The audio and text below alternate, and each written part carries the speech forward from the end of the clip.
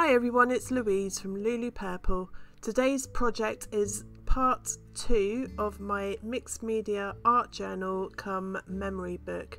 So I've managed to lose a bit of the video footage, but basically I have stuck some tissue paper with some white PVA glue watered down, so 50-50 for PVA glue and water. I'll show you in a moment the process. So I'm literally cutting the tissue paper up, screwing it up a bit and then sticking it down with the PVA glue and water mix. Just to say also that my PVA glue isn't anything special, it is just a PVA builder's glue which I picked up from the local hardware shop.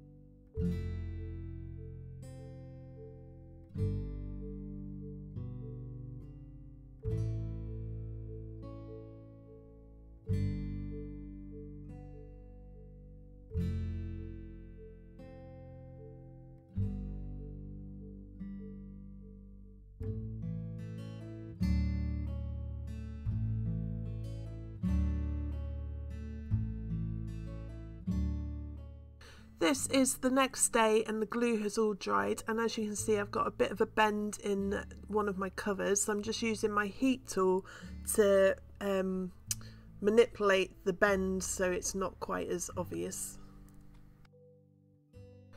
I'm using a stencil called Bubble. This is one of the Tim Holtz stencils and I'm going to use my modelling paste through the stencil.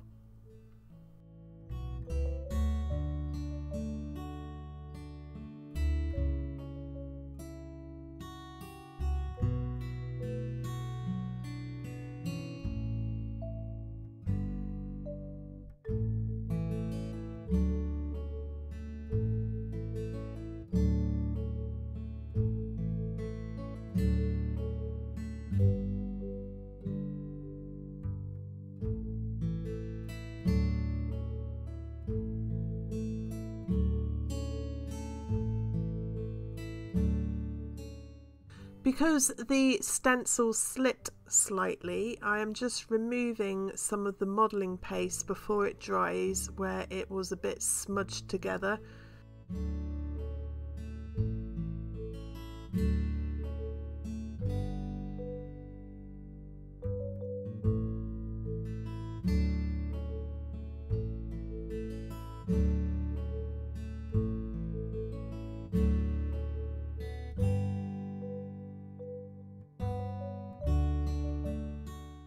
I'm going to leave the modelling paste to dry overnight and this is the next morning when the modelling paste is all dried. So now I need to cover the whole of my journal with my black gesso. I will show you a little bit and then skip forward to the end.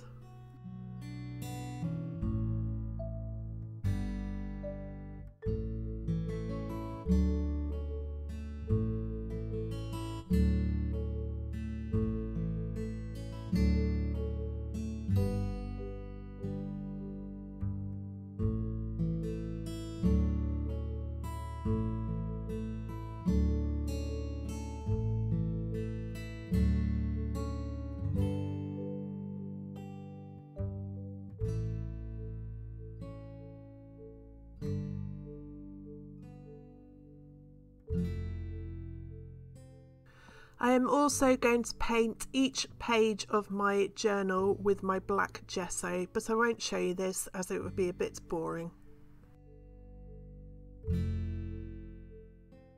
Once my journal is all dried, I then use my Berry Dazzling Metallics by DecoArt, and I'm just going to use this to paint the front and back cover of my journal.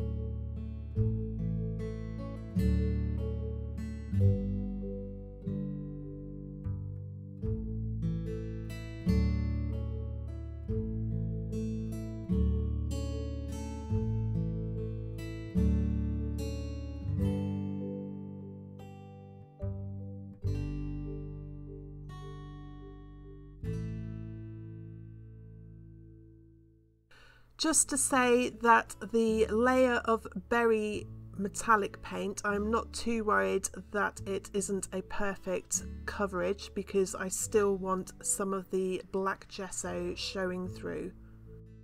Once the paint is all dried, I then use my shimmering silver metallic paint and I'm just going to dry brush this over the top of the berry paint.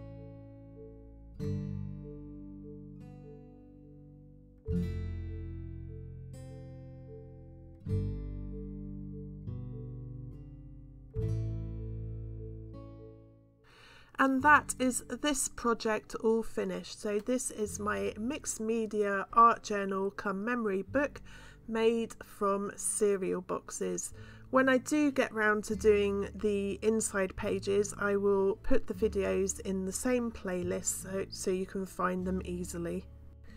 If you would like to buy any of the products I've used in this video they will be listed on my website blog post. I will leave a link in the description box below this video. I hope you've enjoyed watching this video. If you have, please give me a thumbs up or leave me a comment and don't forget to subscribe to my YouTube channel. Click on the bell icon so you never miss a new video. Links to my website, Facebook and more will be in the description box below or click on the end cards at the end of this video. Thanks again for watching and I hope you got inspired.